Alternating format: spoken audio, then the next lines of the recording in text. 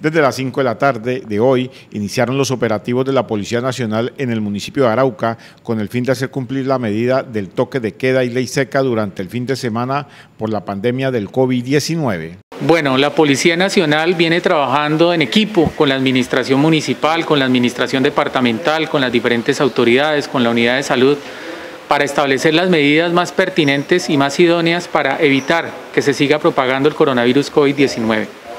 Por eso, este fin de semana se ha establecido por parte de la Administración Municipal el toque de queda, el cual empezará a regir a partir de hoy a las 17.00 horas hasta el día lunes a las 5 de la mañana.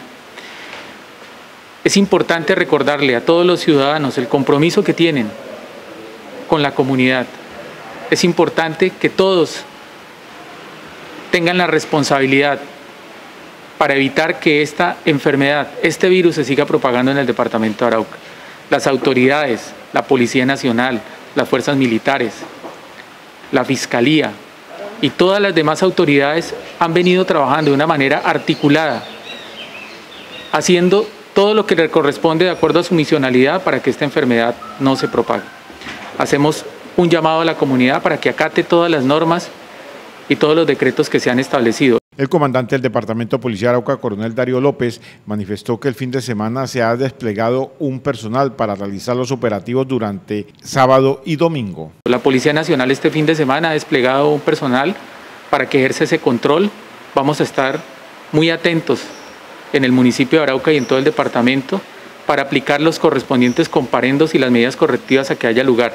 Importante mencionar que la Policía Nacional hasta el momento ha aplicado 2.589 comparendos por comportamientos contrarios a la convivencia y que son y que han sido a ciudadanos que han controvertido todas estas medidas tendientes a evitar la propagación del coronavirus COVID-19. Las autoridades también dieron a conocer algunos sitios en Arauca donde los fines de semana realizan fiestas y toman licor. Sí, en los últimos días hemos detectado que en algunos sectores de la ciudad se han venido proliferando fiestas colectivas, donde se aglomeran aproximadamente entre 100 y 200 personas. Y obviamente esto genera un riesgo.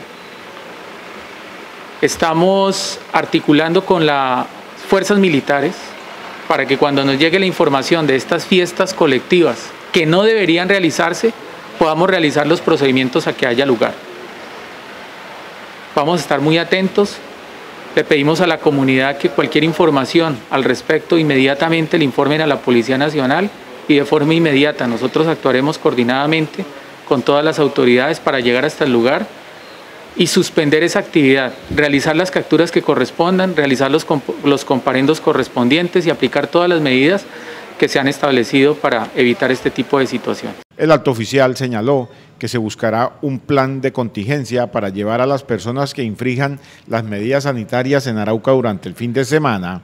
Bueno, nosotros estamos mirando la posibilidad de un plan de contingencia en este sentido. No vamos, dejar, no vamos a dejar de aplicar la ley, los vamos a llevar a la estación de policía y pediremos también el apoyo del IMPEC para que también podamos evacuar personas que se encuentran privadas de la libertad en la estación de policía, poder abrir espacio en la estación y poder privar a estas personas de la libertad en la estación de policía Arauca. Pero no vamos a dejar de aplicar la ley. Y toda persona que infrinja las normas, los decretos que se han establecido tanto por la administración municipal, la administración departamental y el gobierno nacional, se le aplicará todo el peso de la ley. La policía y la infantería de Marina realizarán operativos para poder controlar la frontera sobre el río Arauca. Los operativos para el control sobre el río Arauca son permanentes. Ahí trabajamos articuladamente con la Armada Nacional. La Armada Nacional está constantemente realizando esos patrullajes y ellos nos informan cuando necesitan el apoyo de la Policía Nacional para que nosotros podamos aplicar las medidas, las medidas correctivas correspondientes. Ahí estamos articulados con ellos y obviamente pues estaremos atentos este fin de semana para que evitar que ese flujo ilegal de migrantes se realice sobre el río Arauca. Las personas que infrinjan el toque de queda y la ley seca tendrán que cancelar una multa que superan los 800 mil pesos.